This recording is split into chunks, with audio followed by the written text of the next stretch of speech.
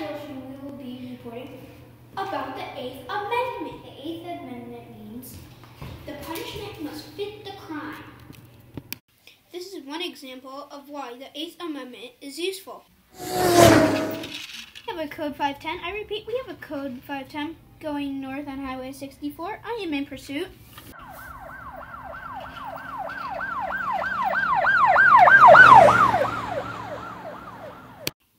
Sir, will you please get out of your car? What seems to be the problem, officer?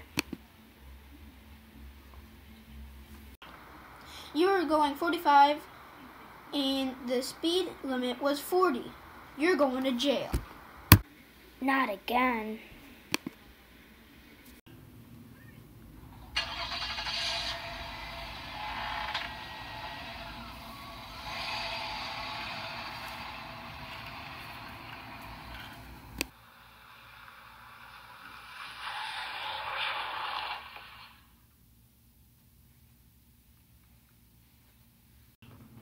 Let's get you into the jail cell.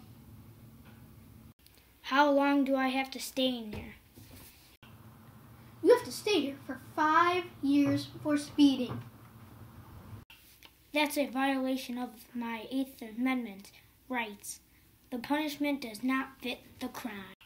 You are right. The Eighth Amendment says that excessive bail shall not be required, nor excessive fines imposed, nor cruel and unusual punishments inflicted. I will let you go with a ticket. Here's your ticket. Have a nice day.